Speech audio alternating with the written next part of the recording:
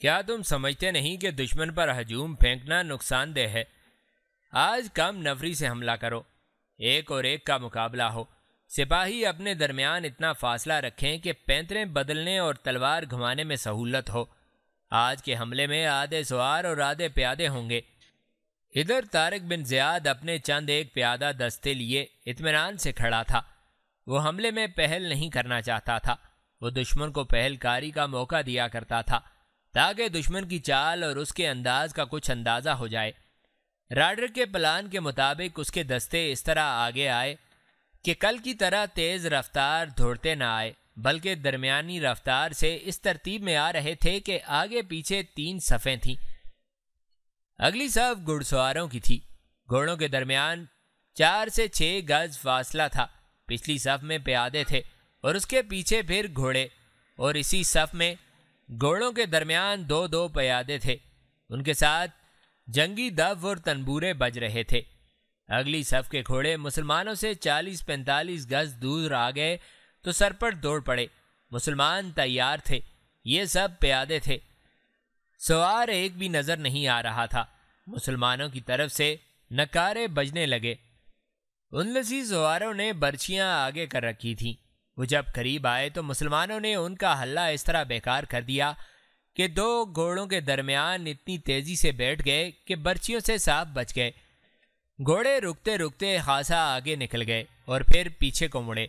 इतने वक्त में मुसलमान प्यादे राडर के प्यादों तक पहुँच गए और तलवारें टकराने लगीं। घुड़सवार अब उन्हें नुकसान नहीं पहुँचा सकते थे, क्योंकि उनके अपने प्यादे उनकी जद में आ सकते थे। घुड़सवार जब आगे जाकर पीछे को मुड़े तो एक लंबी चट्टान के पीछे से मुसलमान घुड़सवार निकले और राडर के सवारों पर पीछे से टूट पड़े। उनके लिए ये हमला गैर मुतव था। संभलने से पहले ही वो मुसलमानों की बर्छियों और तलवारों का शिकार हो गए। उन लसियों की दूसरी सफ के घुड़सवारों ने मुसलमान सवारों की तरफ़ घोड़े मोड़े, लेकिन मुसलमान सवारों ने अपने घोड़े मोड़कर एड़ें लगाईं। और जिन चट्टानों और पहाड़ियों से निकले थे, उन्हीं में जाकर गायब हो गए। वापस वापस आओ। उंदसी जबान में ललकार सुनाई देने लगी। पहाड़ी के पीछे न जाओ।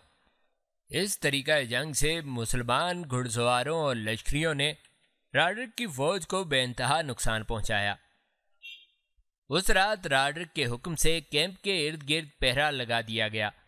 फिर भी चंद एक जांबाज मुजाहिद कैंप के एक गोशे में पहुँच गए और बहुत से सिपाहियों को कत्ल कराए और उनके घोड़ों पर तीर चलाकर कई घोड़े लड़ाई के लिए बेकार कर दिए।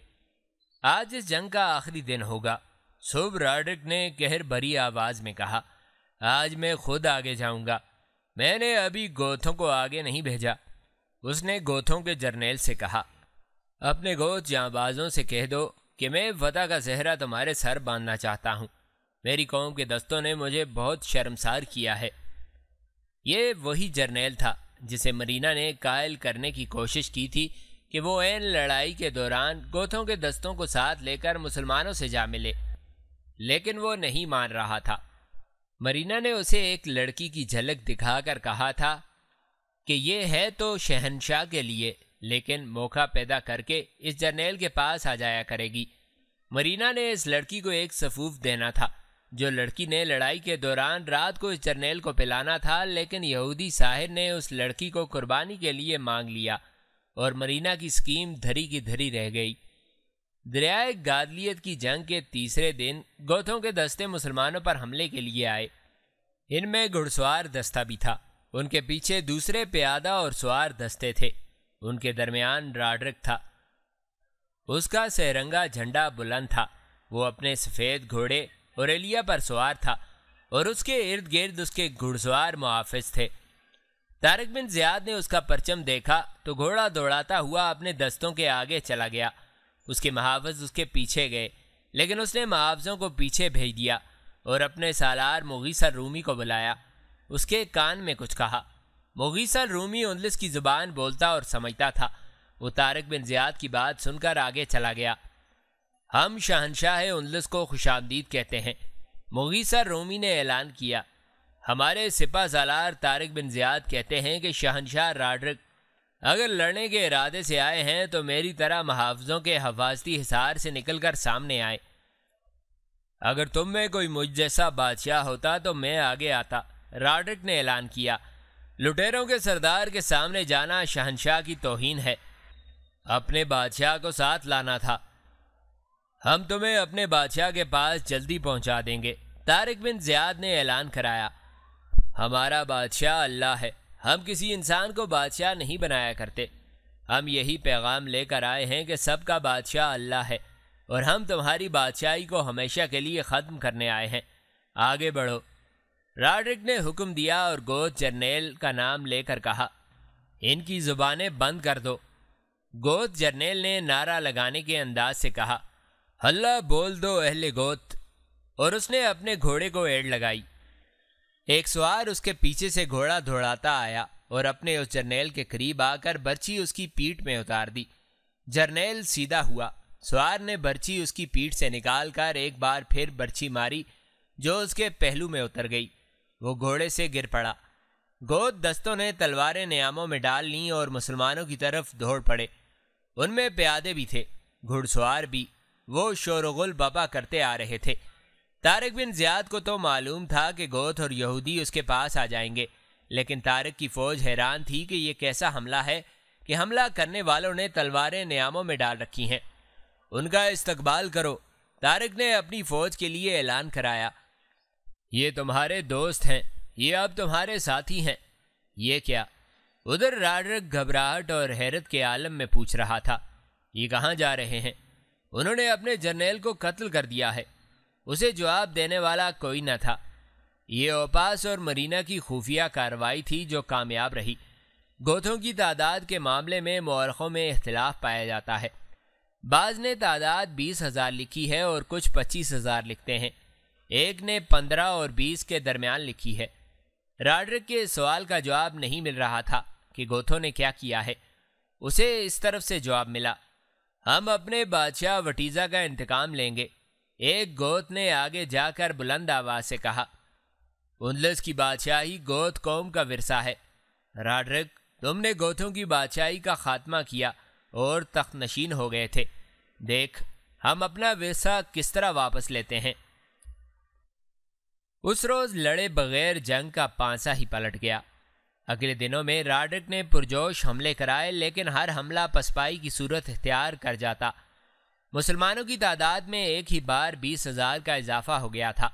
ये तादाद बरए नाम नहीं थी, बल्कि इस तादाद में इंतकाम का जज्बा था, और इस जज्बे की तस्कीन के लिए इन गोथों को और इन यहूदियों को जो मुसलमानों से आ मिले थे, मुसलमानों की हिमायत हासिल हो गई थी। और मुसलमान भी ऐसे जंगजू और जांबाज के एक एक दस दस का मुकाबला करते थे। तारिक बिन जियाद को जब इतनी ज़्यादा फौज मिल गई तो उसने इन गोथों में से एक को जर्नेल बना दिया। उनका पहला जर्नेल मारा गया था। कौन कह सकता है कि मेरे रसूल सल्लल्लाहु अलैहि वसल्लम की बशारत सही नहीं हो सकती? तारिक ने अपने सालारों से कहा, अल्लाह जब कर्म करने पर आता है तो ऐसे इसबाब पैदा कर देता है कि उसके बंदों की हर मुश्किल आसान हो जाती है। अल्लाह ने अपने महबूब सल्लल्लाहु अलैहि वसल्लम की बशारत पूरी करनी थी और ये मुआवजा हो गया। अपने हर अस्करी से कह दो कि अल्लाह के हुजूर सर झुकाए रखो और दिल में अल्लाह ही का नाम रखो। ये एक मुआवजा था जिसका ज़िक्र हर मौरख ने तफसील से किया है। उधर दरिया गादलियत के किनारे एक खुशनुमा खेमे में जिसके अंदर महल के एक कमरे का दिलनशी मंजर बना हुआ था। शाय उल्लस राड्रिक, शदीद, बेचैनी और गुस्से का मुजस्मा बना हुआ था। कभी वो बैठ जाता और अचानक गेंद की तरह उछलकर खड़ा हो जाता और खेमे के अंदर तेज तेज टहलने लगता।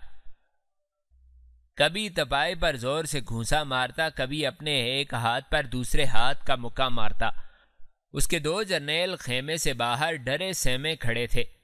आखिर एक बूढ़ा जर्नेल खेमे में गया, जिसका राड्रिक बहुत एहतराम करता था। शहनशाह मुआजम को इस तरह दिल बर्दाश्ता नहीं होना चाहिए, जर्नेल ने कहा। गोद धोखा दे गए हैं तो कोई फ़र्क नहीं पड़ेगा। हम इन गोथों की नस्ल को ख़त्म कर देंगे। नस्ल हमारी ख़त्म हो रही है। राड्रिक ने बड़े ज़ोर से अपने पाँव को ज़मीन पर मारा और गरज कर बोला, तुम इस काबिल होते जो कह रहे हो तो ये लड़ाई पहले दिन ही ख़त्म हो जाती। तुमने दुश्मन का क्या बिगाड़ लिया है, जो तादाद के लिहाज से हमारे सामने इस तरह थे? जैसे आदमी के पाँव तले चूंटियाँ हों, लेकिन ये चूंटियाँ हमारे वजूद पर चढ़ाई हैं। दुश्मन कमज़ोर होने के बजाय पहले से ज़्यादा ताकतवर हो गया है। मेरी नज़रों से दूर हो जाओ। जर्नेल ने नज़रों से दूर होने के बजाय प्याले में शराब डाली। हम शहनशाह को इस हालत में नहीं देख सकते। जर्नेल ने प्याला राडर की तरफ़ बढ़ाते हुए कहा, ये लें और अपने आप पर काबू पाएँ। राडर ने प्याला उसके हाथ से लेकर ज़मीन पर दे मारा। तुम मेरे होश व हवास गुम करना चाहते हो? राडक ने कहा। तुम चाहते हो कि इतनी बड़ी हकीकत को भूल जाऊँ? मालूम होता है वो यहूदी काहिन नाकाम हो गया है। उसने बूढ़े जर्नेल से मायूसी के लहजे में कहा। उसने कहा था कि एक नोखेज लड़की की जान की कुर्बानी देने से मुझ पर बुरे शुगुन का असर होगा तो वो जायल हो जाएगा। मैंने उसे लड़की दे दी थी। उसने लड़की की जान की कुर्बानी दे दी होगी। वो ज़ाया हो गई है। उस यहूदी ने हमें धोखा तो नहीं दिया होगा। मैं अभी एक सवार तलीता भेज देता हूँ, बूढ़े जर्नेल ने कहा। वो मालूम करके आ जाएगा। कब पहुंचेगा, कब आएगा। राडिक ने ऐसे लहजे में कहा जिसमें शिकस्त खोरदगी की झलक नमाया थी। मुझे हरगल का बुर्ज नहीं घुलवाना चाहिए था। इस बुर्ज की रखवाली करने वाले दोनों राहबों ने मुझे रोका था। तुम मेरे साथ थे। तुमने भी समझाया और मुझे मना किया था। इस वहम को दिल से निकाल दें शहनशाह, जर्नेल ने कहा। कैसे निकाल दूँ? राडिक ने डरी हुई आवाज़ में कहा। क्या तुम देख नहीं रहे कि हमने लड़ाई का जो मंजर बुर्ज के अंदर देखा था, वो यहाँ हम हर रोज़ देख रहे हैं। मुसलमानों के वही नारे सुन रहे हैं और अपनी फ़ौज की वही पसपाई देखने में आती है। मैंने बुर्ज के लड़ाई के मंजर में अपने आप को देखा था, फिर मैंने अपने घोड़े को मेरे बगैर भागते दौड़ते देखा था और वो लड़की फिर मेरे ख्वाबों में आने लगी है, जिसे मैंने पेम्पलोना में कत्ल किया था। जंग गादलियत का आठवां दिन तुलू हुआ। राडक ने अपनी तमाम फौज को मैदान में नहायत अच्छी तरतीब में खड़ा किया। वो अपने सफ़ेद घोड़े औरेलिया पर सवार था। घोड़ा अपनी फौज की सफ़ों के आगे दौड़ाता, रोकता और ऐलान करता कि आज की लड़ाई को फैसला कन बनाना है। अगर आज तुमने दुश्मन को शिकस्त दे दी तो इतना इनाम दूँगा कि तुम्हारी आने वाली नस्लें भी शहनशाह राडरिक को याद किया करेंगी। ए कौम गोत। तारक बिन ज़ियाद अपनी फ़ौज से मुखातब था। तुम आज शिकायत खा गए तो उनलस में तुम्हारी नस्ल ख़त्म कर दी जाएगी। तुम्हारी किसी औरत और किसी बच्चे को राडरिक ज़िंदा नहीं रहने देगा। और एक कौम में बरबर, क्या तुमने कभी किसी से शिकायत खाई थी? अगर आप शिकायत खा बैठे तो कहाँ जाओगे? तुम पहली बार किसी दूसरे मुल्क में आए हो। अरबी मुसलमान कई दूसरे मुल्कों को सल्तनत इस्लामिया में शामिल कर चुके हैं। क्या तुम अपने अरबी भाइयों से गहलवाना पसंद करोगे कि बरबर किसी दूसरे मुल्क में जाने के काबिल ही न थे? नहीं तारिक, नहीं। बरबरों के लश्कर से हज़ारों आवाज़ें बुलंद हुईं। हम तेरे साथ हैं, तेरे साथ रहेंगे। हमला आवरों के नारों से न डरो। राडरिक अपनी फौज से कह रहा था, ये किसी बादशाह की फौज नहीं, ये डाकू लुटेरे हैं। ए अहले इस्लाम, तारिक अपने लश्कर को ललकार रहा था, फतह तुम्हारी है। तुम दुश्मन पर दहशत बनकर छा चुके हो, और मत भूलो कि ये हज़ारों गोत अपने ालिम और गुनागार बादशाह से निजात हासिल करने के लिए आए हैं। अल्लाह का हुक्म है कि जिस बस्ती के लोगों पर जुल्म हो रहा हो, उनकी फरियाद सुनने वाला कोई ना हो, उनकी मदद को पहुँचो। अपने इन गोद भाइयों को इस ालिम बादशाह से आज़ाद कराने के लिए अपनी जानें कुर्बान कर दो। हम जाने कुर्बान कर देंगे तारिक। बरबरों के लश्कर से आवाज़ें उठी। हम जाने कुर्बान कर देंगे। राडिक ने हमले का हुक्म दे दिया। उसके सवार दस्ते सरपट घोड़े दौड़ाते आए। तारिक ने अपने दस्तों को आगे ही रखा हुआ था। जब दुश्मन के सवार कुछ दूर ही थे तो तारिक के सवार दस्तों के पीछे से प्यादा सवारों की सबसे आगे हो गए। ये सब तीरंदाज थे। उन्होंने उनसी सवारों पर तीर चलाने शुरू कर दिए। ये बड़ी तेज तीरंदाजी थी। बरबरों की कमानें बहुत सख्त थीं। उनसे निकले हुए तीर तेज जाते और आम कमानों की नस्बत बहुत दूर जाते थे। उनलसी सवार गिरने लगे। घोड़ों की रफ्तार कम न हुई। जब वो करीब आए तो तीरंदाज बड़ी तेज़ी से अपने सवार दस्ते के पीछे चले गए। मुसलमान सवार तैयार थे। दोनों तरफ़ के सवारों का शदीद तसादम हुआ। जब सवार आपस में गड़मड़ हो गए तो तारक के इशारे पर एक तरफ़ से गोद सवारों का दस्ता निकला और उसने पहलू से उनलसी सवारों पर हल्ला बोल दिया। राडर का अब तमाशा नहीं देखना चाहता था। उसने प्यादा दस्तों को हमले का हुक्म दे दिया। अब तारक बिन ज्याद अपनी मखसूस चालें चलने लगा। उसने गोथों को आमने सामने की लड़ाई लड़ते रहने का कहा और मुसलमान दस्तों को दाएँ और बाएँ भेज दिया। एक तरफ़ मुगीसर रूमी और दूसरी तरफ़ अबू जरोहा अतरीफ गया। वो दूर का चक्कर काट कर अपने अपने मकाम पर पहुँच गए। राडरक अपने दस्ते लड़ाई में झोंकता चला जा रहा था। उसके पीछे दरिया था। मोगी रोमी और अबू जरोहा अतरीफ दोनों तरफ़ से इन दस्तों पर बहुत तेज हमले कर रहे थे। ये दोनों पहलुओं पर हमला था, जो ऐसा गैर मुतव था कि उनलसी बुरी तरह घबरा गए। राडरिक भी ना समझ सका कि क्या हुआ है।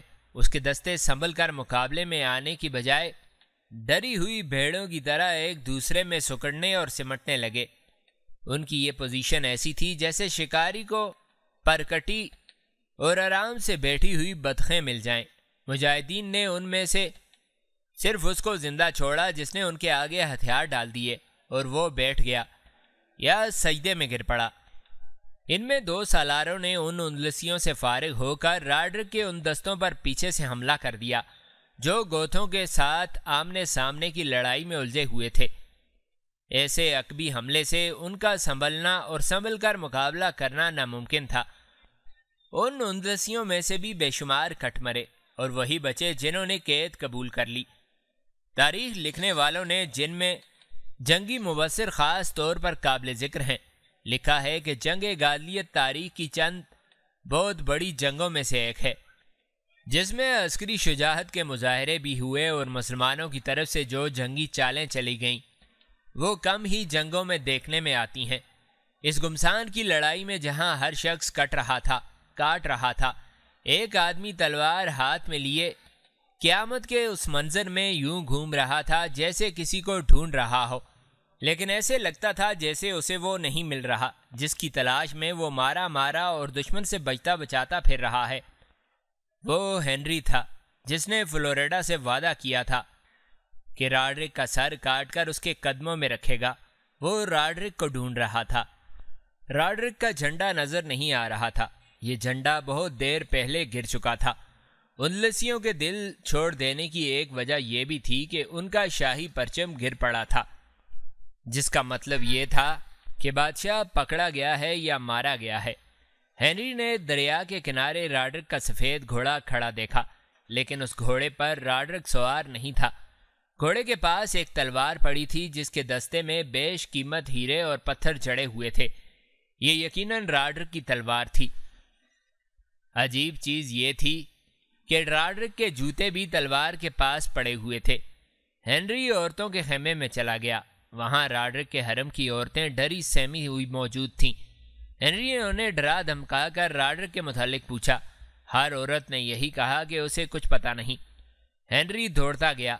राड्रिक की तलवार उठाई और उसके जूते उठाए और उसके महबूब घोड़े ओरेलिया पर सवार हुआ।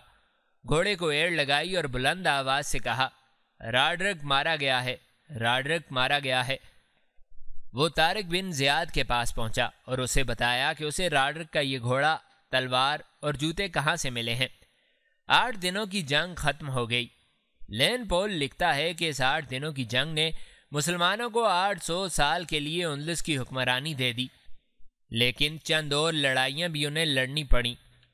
फैसला कुन जंग यही थी, जो जंग गादलियत के नाम से मशहूर है।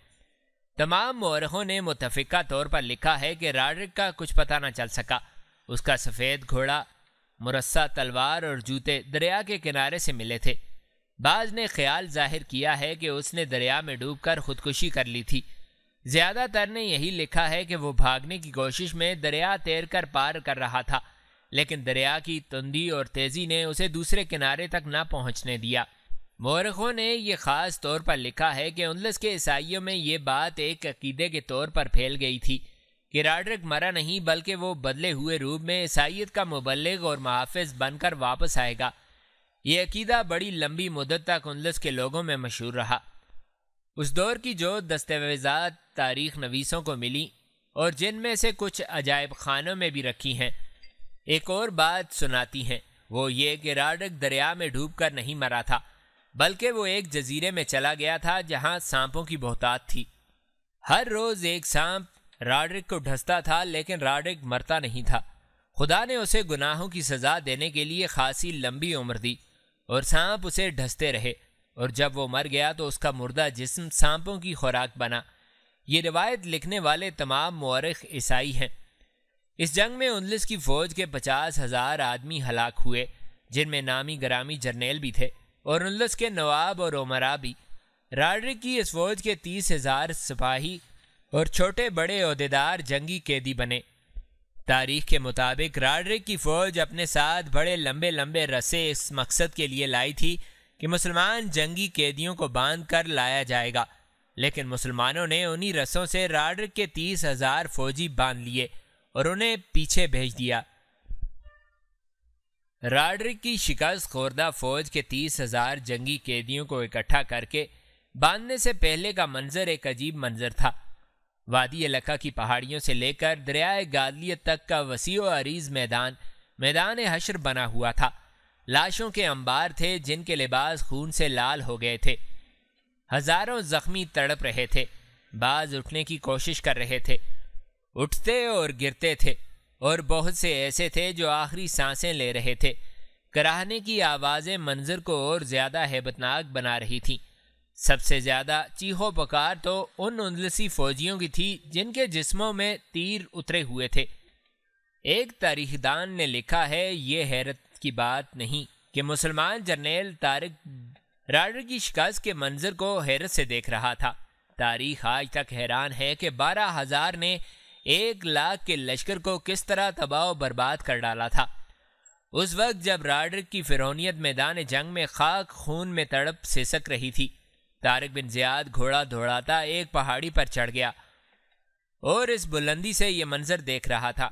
उसके फातह मुजाहिदीन अपने ज़ख्मी और शहीद साथियों की लाशें पूरे एहतराम से उठा रहे थे। कुछ मुजाहिदीन उन उनलसियों को पकड़ रहे थे जो घनी झाड़ियों, ऊँची घास और दरख्तों के पीछे छुपने की कोशिश कर रहे थे। कुछ ऐसे थे जो अपने साथियों की लाशों के नीचे छुप रहे थे। उन्हें शायद ये डर था कि मुसलमान उन्हें कत्ल कर डालेंगे। बाज भाग रहे थे।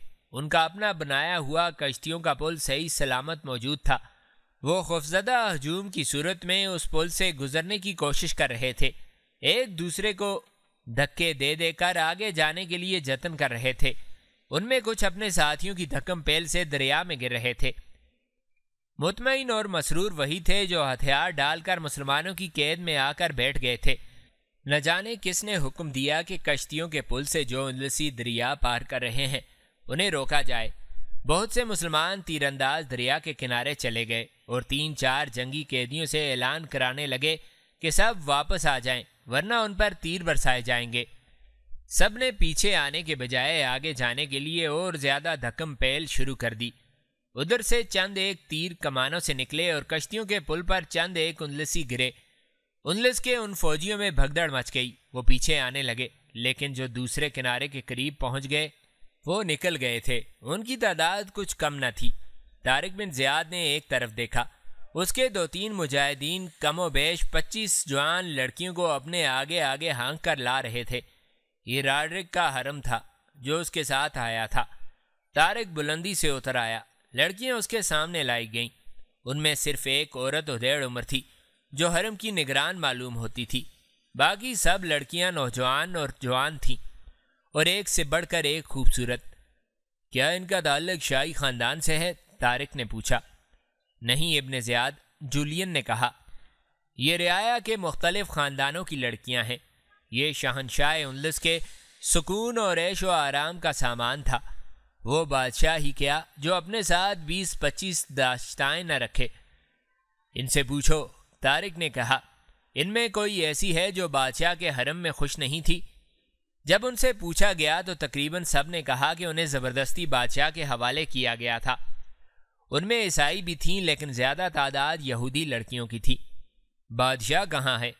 इस सवाल का जवाब कोई लड़की नहीं दे सकेगी। हरम की निगरान औरत ने कहा, चार रातों से शहनशाह राडक ने किसी को अपने खेमे में नहीं बुलाया था। मैं हर रात उससे पूछती थी, वो मुझे गुस्से से धुतकार देता था। लड़ाई के दूसरे दिन के बाद से वो गुस्से से बावला हो गया था और रात को वो इतनी ज़्यादा शराब पी लेता था कि मैंने एक रात उसे ज़मीन पर रौंदे मुँह बेहोश पड़े देखा। मैंने दरबान को बुलाकर उसे उठाया और बिस्तर पर डाला। सुबह होती तो वो पूरी तरह होश व आवास में होता था। उनलस के इस शहनशाह की फौज को तो मुसलमानों ने शिकस्त दे दी थी। इन मुसलमानों के सिपा सालार तारिक बिन ज़ियाद के सर पर अल्लाह का हाथ था और दिल में रसूल अल्लाह सल्लल्लाहु अलैहि वसल्लम का इश्क था। आ हजूर सल्लल्लाहु अलैहि वसल्लम ने उसे बशारत दी थी। यह बशारत दरअसल रसूल अल्लाह सल्लल्लाहु अलैहि वसल्लम का फरमान था। तारिक, मेरी उम्मत में से हो तो शिकस्त न खाना। खुदा तेरे साथ है।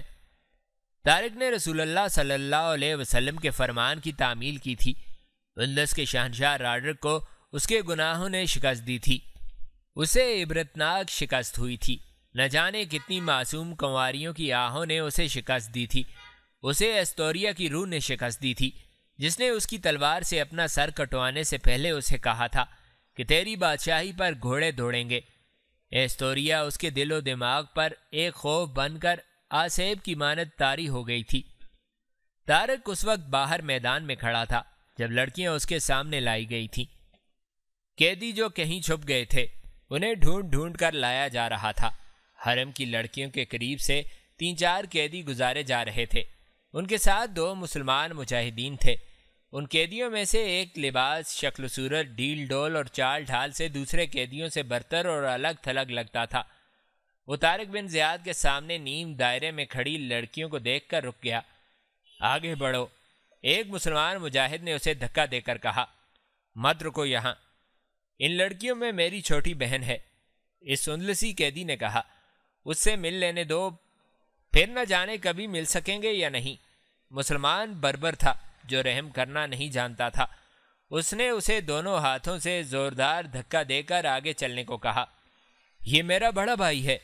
एक बड़ी ही खूबसूरत लड़की ने तारिक और जूलियन से कहा, क्या आप इसे इजाज़त नहीं दे सकते कि ये ज़रा सी देर के लिए मेरे सामने आ जाए? उसे आने दो, तारिक ने अपने मुजाहिदीन से कहा, अपनी बहन से आखिरी बार मिल ले वो लड़कियों के नीम दायरे में आ गया। और अपनी बहन की तरफ़ आहिस्ता आहिस्ता बढ़ने लगा। उसके साथ बरबर मुजाहिद था। ताकि सिपा सालार के सामने वो कोई बदतमीजी न कर गुजरे। इस बरबर के हाथ में छोटी सी बर्ची थी, जो दुश्मन पर फेंकी जाती थी। उन लसी कैदी की बहन ने इस कदर तेज़ी से बरबर के हाथ से बर्जी झपट ली और इस तेज़ी से बर्ची पूरी ताकत से अपने भाई के सीने में उतार दी। बर्ची खींची और एक बार फिर भाई को मारने के लिए बाजू पीछे को लंबा किया लेकिन बरबर मुजाहिद ने उसका बाजू पकड़ लिया और उसके हाथ से बर्ची ले ली। बर्ची का एक ही वार काम कर गया था। पूरी अन्नी सीने में उतर गई थी। खूबरू और बड़े ही दिलकश जिस्म वाले उनलसी के पहले घुटने ज़मीन से लगे। फिर वो एक पहलू पर लुढ़क गया। ये तूने क्या किया? जूलियन ने उस लड़की से उनलसी जबान में पूछा। अपने भाई को कत्ल कर दिया? शायद इसलिए कि उसने हथियार डाल दिए थे? नहीं, लड़की ने कहा मैं इसे कुछ अरसा पहले कत्ल कर देती, लेकिन मौका नहीं मिल रहा था। अगर तुम लोग मुझे इस जुर्म की सज़ा देना चाहते हो तो दे दो। तुम्हारे पास तलवारें हैं, बर्छियाँ भी हैं। काट दो मेरे जिस्म को। तारक को बताया गया कि लड़की क्या कहती है। इसे कहो कि इसे हम सज़ा नहीं देंगे, तारक ने कहा। इसे पूछो कि भाई को इसने क्यों कत्ल किया है। इसने मुझे शहनशाह राडर के हरम में दाखिल किया था, लड़की ने कहा। यह फौज में सिपाही भर्ती हुआ था और ये फौज में ओहदा और रुतबा चाहता था। ये एक रोज़ मुझे धोखे से महल में ले गया और इस औरत से मिलवाया। ये औरत मुझे महल की सैर कराने के बहाने अपने साथ ले गई और मुझे हर्म में कैद कर लिया गया। बूढ़े बादशाह ने मुझे मट्टी का खिलौना बना लिया।